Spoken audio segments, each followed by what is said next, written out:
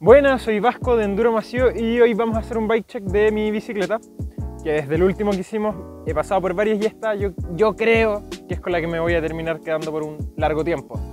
Bueno, esta es una Guerrilla Gravity, es una marca americana súper nueva, o sea, tampoco es nueva, partieron con el aluminio, pero es su primer cuadro de carbono. Y tiene varios puntos súper interesantes eh, que otras marcas no ofrecen. Bueno, eh, partiendo por la bicicleta, el cuadro es un Guerrilla Gravity, el modelo de Smash. Este cuadro viene en aro 29 y recorre 160 adelante y 145 milímetros atrás. Eh, el shock no es Trunion, así que es métrico normal de los que se usan este último tiempo. Y bueno, vamos al detalle ahora con el resto de los componentes.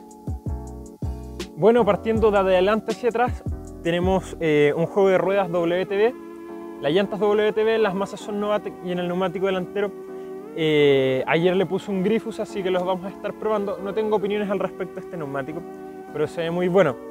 Luego pasamos una horquilla Yari de 160 milímetros para aro 29, cónica Boost con la tecnología nueva que sacó RockShox este año, que es el Debonair. Luego si ya nos vamos al cockpit, tenemos una T-Unite prototipo, un manubrio Ride Joystick, 8-bit alloy que lo llevo usando hace mucho tiempo y me acomoda bastante de 38 milímetros de raíz con un largo de 780 y en los frenos ya nos encontramos con un Hope V4 para atrás y un guide adelante. Eh, los puños son unos puños Stein y el juego de dirección es un juego de dirección FSA. Ya si nos vamos a la parte de medio de la bicicleta, nos encontramos con una botella Feedlock que es de 750 cc, que entra perfecto en el cuadro. Bueno, la raja, después de no poder haber usado botella en una bicicleta, se valora mucho. En el dropper tenemos un One Up Component V2 de 180 milímetros de recorrido para 39. El mando es de aluminio, un muy buen dropper. En cuanto al shock, tenemos eh, un Super Deluxe Coil que podría llevar bloqueo al manillar, pero esta bicicleta realmente pedalea de manera tan eficiente en la suya que no es necesario. Eh, lo tengo con un shock de 230 milímetros por 60, que es la medida que requiere este cuadro, no se puede poner otro. Y el coil es de 375 libras, es un Super Alloy Racing. En cuanto al volante, tenemos un Descendant de Carbon de la marca Truvative, que también viene siendo de las mismas empresas de SRAM. También en los pedales llevo unos Unite prototipo que ya salieron a la venta, podrán encontrarlos pronto ya en Chile. Eh, son completamente mecanizados, son, tienen un muy buen agarre. En cuanto a la corona, la muevo con una de 32 dientes. Eh, me acomoda mucho la subida, pero creo que podría llevar un 32 oval para una eficiencia mejor al pedaleo. Bueno, el cuadro es modular, es decir que el triángulo delantero es el mismo para todas las bicicletas, tanto 27,5 de trail como de enduro, como 29 de trail, como 29 de enduro. O sea, es el mismo cuadro para todos, lo único que cambia es las culatas. Ese es otro punto a favor. Si por X motivo llegamos a romper, a bollar las culatas, tampoco es como la pérdida completa porque podemos volver a comprarlas y es algo indescriptible porque normalmente muchos siempre tenemos el miedo a que se rompan las culatas y cuando se nos rompen en Chile hay tan poco repuesto que es como dar por perdido el cuadro. Así que ese es otro punto a favor de la marca. Y bueno, en general de esta bicicleta me gusta todo, todo. Realmente es un misil tanto como para subir como para bajar. Lo único que le cambiaría es la montura del disco. A mí no me gusta la que trae, que es el IS, que va de la manera lateral. Me gusta que vaya desde arriba, todas mis bicicletas lo han tenido. Y lo encuentro muy cómodo para tener que andar buscando adaptadores. Porque cuando compramos la bicicleta es llegar y poner el freno. Acá necesitaba un adaptador y fue en su minuto complejo pillarlo. Ese es un punto en contra. Y la medida del shock es 230 por 60. A día de hoy muchas bicicletas traen Trunion y le da mayor rigidez, más espacio al cuadro y creo que podría ser Trunion, pero ellos lo hicieron de esa manera y deben tener sus motivos. Bueno, a destacar otro punto que gatilló para que esta fuese mi siguiente bicicleta.